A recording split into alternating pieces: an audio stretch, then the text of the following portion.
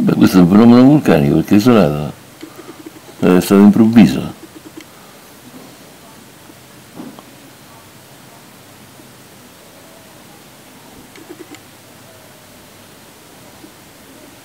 Sembra nuvole, nuvole, o nebbia. In realtà più o meno siamo là. Ma tutto nasce da un calore sottostante.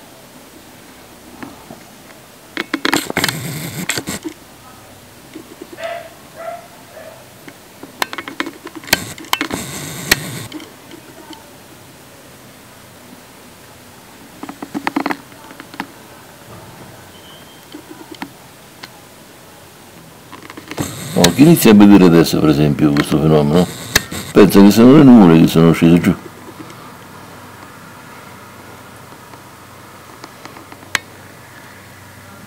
Invece eh, ecco, la macchina è testimone che sono nate nel, nella gola lì, eh, nella valle, Fossa di Dici mi sembra che quello sia. Adesso sembrano nuvole.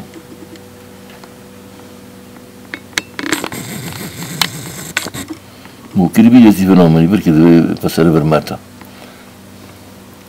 Oppure che ha ripresi tutti questi fumi nel corso degli anni. Anzi, se non fosse vulcano, non fosse stato, cioè no, non fosse.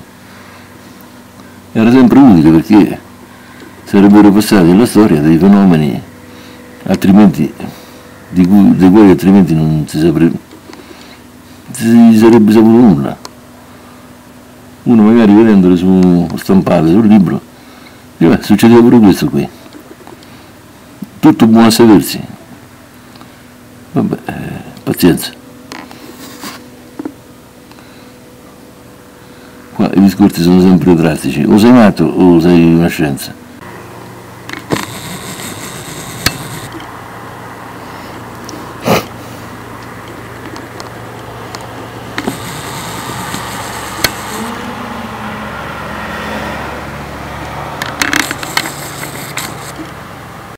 Ecco, si è esaurita.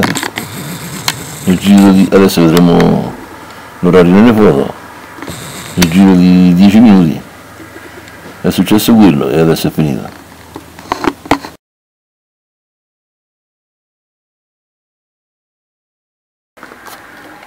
Ma questo lavoro che io ho fatto nel corso di questi anni è senz'altro utile perché oltre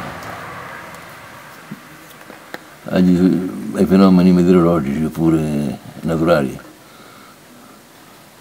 Eh, ci sono riportati i comportamenti umani. Eh, lo studio dell'antropologia pure, è nascosto, non, non, è, non, era dichiarato, non era nemmeno voluto, no? però in tutte le attività che uno fa eh, c'è sempre l'antropologia, cioè il comportamento degli uomini. Anche, mio, anche il mio comportamento, non è quello degli altri e basta.